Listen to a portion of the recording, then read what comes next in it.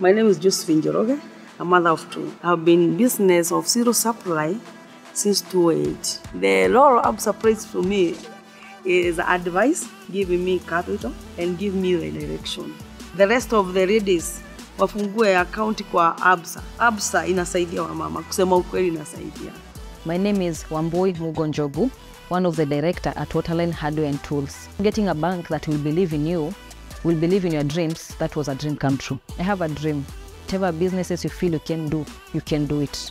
You just need someone who believes in you and you'll do it. Kwa majina naitwa Ann Kamande. Hii biashara yangu nilianza 2018 mwezi wa kumi na moja mpaka sasa. Interest yao iko sawa, alafu wanakupatia pesa mzuri yenye inaweza kuanzishia biashara. My name is Josephine Gichan. I'm a business woman.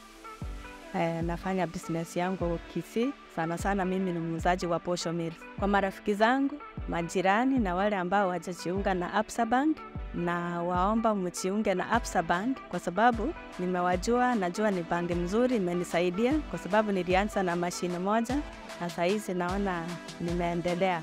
My name is Virginia Oidhira Kariuki, and I am a co-director at Seta Healthcare Solutions. So when I started up, the order that I had, I needed to supply, and I didn't know where I, I will get money from. So a friend of mine told me there's Timiza, and I should check them out. It saved me up a lot. I'm a teacher by training. I'm an associate professor, so I emphasize a lot in giving knowledge. I decided to leave university and move into something else. And I came from a place of where money was not an issue, but then suddenly I have to think about basic things in life. I went to ABSA. They were willing to give me a loan without any collateral. I'm actually very happy that they are thinking and considering women and they want to support us as women and they want to see women succeed and prosper. If you want something so bad, you get it in the end.